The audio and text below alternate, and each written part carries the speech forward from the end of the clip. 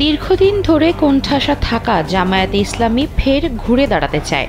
সম্প্রতি রাজনৈতিক পট পরিবর্তনের পর নতুন আশায় বুক বাঁধছেন দলটির নেতাকর্মীরা। বিশেষ করে পাঁচ আগস্ট ছাত্র জনতার ঐতিহাসিক গণ অভ্যুত্থানে শেখ হাসিনার পদত্যাগ ও তার সরকারের পতনের পর তারা খুশি। অতীতে তাদের বিরুদ্ধে যে ধরনের অভিযোগ উত্থাপন করা হয়েছিল তা থেকে বেরিয়ে নিজেদের জনগণের কাছে আরও ভালোভাবে তুলে ধরতে চান নেতাকর্মীরা। এরই ধারাবাহিকতায় গত সাত আগস্ট রংপুরের পীরগঞ্জে ছাত্র আন্দোলনে পুলিশের গুলিতে নিহত আবু সাইদের কবর জিয়ারত করে তার পরিবারের সঙ্গে দেখা করেন জামায়াতের আমির শফিকুর রহমান।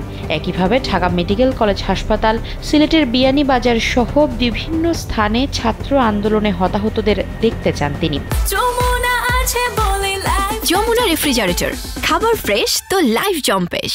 এসব ইতিবাচক কর্মকাণ্ডের মাধ্যমে জনগণের সঙ্গে সম্পৃক্ততা বাড়িয়ে সাংগঠনিকভাবে ঘুরে দাঁড়াতে চায় সংগঠনটি।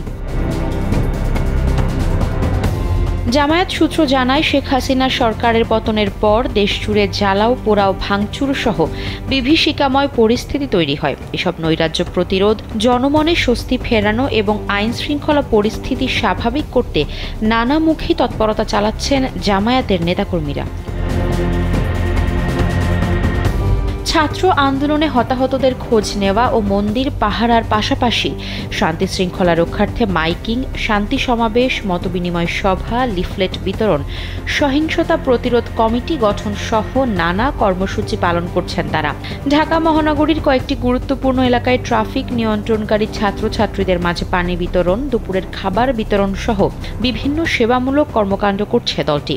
পাশাপাশি আতঙ্কিত নাগরিকদের মাঝে স্বস্তি ফেরাতে সচেতনতামূলক প্রচার ও গণসংযোগ কার্যক্রম চালানো হচ্ছে। একই সঙ্গে ছাত্র শিবিরও সারা দেশে হিন্দুদের মন্দির, পাহারা, শহর পরিষ্কার সহ বিভিন্ন স্বেচ্ছাসেবী কর্মকাণ্ড পরিচালনা করছে।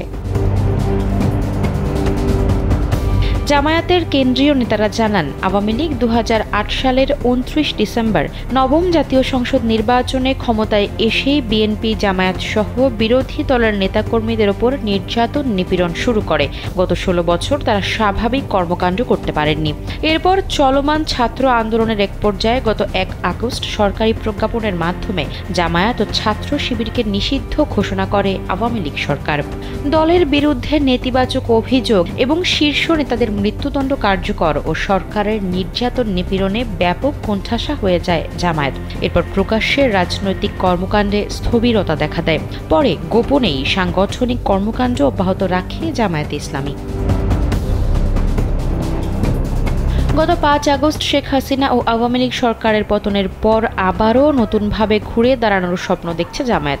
দলটির নেতাদের মতে, একসময় বিভিন্ন ধরনের নেতিবাচক প্রচারণা থাকলেও সেসব ছাপিয়ে জনগণের সঙ্গে সম্পৃক্ততা বাড়াচ্ছেন তারা। জামায়াতের আমির শফিকুর রহমান সহ শীর্ষ নেতারা সারা দেশে বিভিন্ন সামাজিক কার্যক্রম পরিচালনা করছেন।